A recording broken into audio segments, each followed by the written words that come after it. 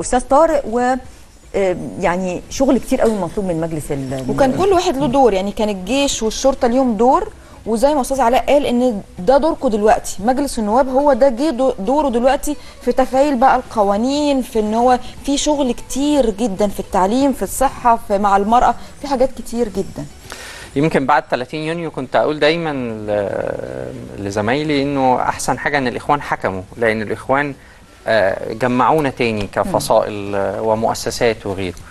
آه، كل المؤسسات المصرية محتاجة تطوير ومحتاجة آه، يعني تطويرها بس وأنا وأنا حتى بتكلم عن الشرطة المصرية محتاجة أشوف هي الشرطة عايزة إيه عشان تطور نفسها تكنولوجيا كمان عشان تقدر تواجه الحرب ال- ال- الضروس ال- اللي شغالة دلوقتي وإنه آه، لازم نتفهم إنه ال- اللي بعض الممارسات اللي بتحصل هي ممارسات فردية محتاجة معالجة ما والمعالجة دي منها اللي قال عليها رئيس الجمهورية وهي بعض ال- ال- الحصول على بعض الدورات المتعلقة بحقوق الإنسان وغيرها من الأمور اللي ممكن نعالج بيها عشان نتفادى مثل هذه الممارسات. الحاجة الثانية إنه آه، وإحنا شفنا قلبنا اتقطع يعني على آه، أهالي شهداء ال- ال- الشرطة في ال- الاحتفالية اللي كانت موجودة وإزاي إن في أب فقد آه، أكتر من ابن من أبنائه والتضحيات اللي. بيقوم ودول. برضو شباب يعني أنا ما بنساش إنه ال- اللي بيواجه الإرهاب فعليا ومعظم الشهداء من الشرطة والجيش هم أيضا شباب.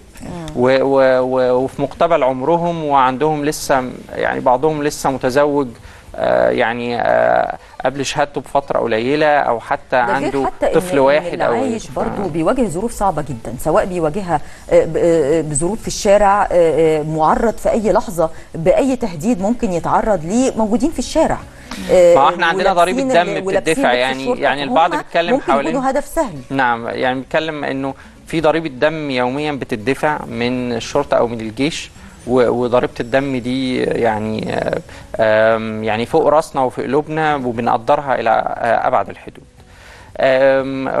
وطبعا يعني بالنسبة لنا شهداء الوطن بشكل عام طبعاً. واللي استشهدوا في 25 يناير أو من بعد 30 يونيو آه، يعني كلهم ضحوا عشان مصر فعلا آه، تشوف نور تاني مرة أخرى.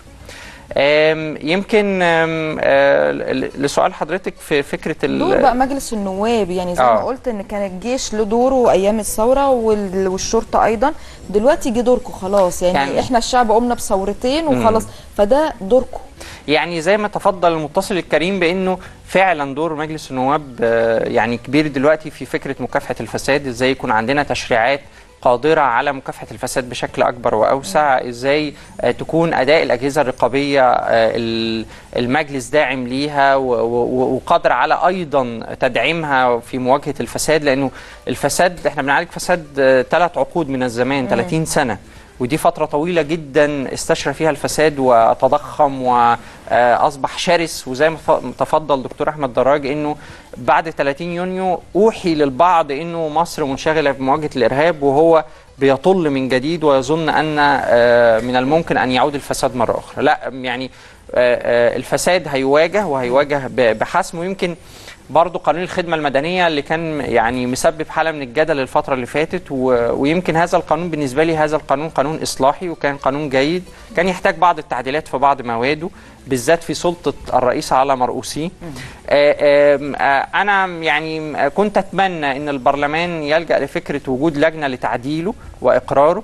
لكن بشكل عام برضو البرلمان آه، لأنه هذا القانون كان له سمعة سلبية في الشارع ولم تقم الحكومة بواجبها في الترويج له كما يجب وفي آه، يعني إقناع الفئات اللي اللي بيطولها هذا القانون بشكل أو بآخر أو تطويرها حتى وفق ال- اللي كان الناس بتتكلم فيه قوي آه بالظبط ده لسه كده. الفترة اللي في تسع شهور كتير. كان المفروض الحكومة تقوم بدورها في تطوير هذا القانون وفق المواد اللي البرلمان جه واتكلم فيها خلاص بقى أنتوا دوركم البرلمان. يمكن أكتر لأنه أتى بإرادة شعبية فهو عايز يعبر عن الإرادة الشعبية دي. وهو كان تحت ضغط هذه الإرادة الشعبية لكن بشكل عام قانون الخدمة المدنية أو غيره. أعتقد دور البرلمان في الفترة المقبلة إقرار قوانين إصلاحية آه، يعني قادرة على مكافحة الفساد ومواجهته بشكل حاسم. عشان دي أعتقد معركتنا اللي بالتوازي موجودة مع معركة الإرهاب.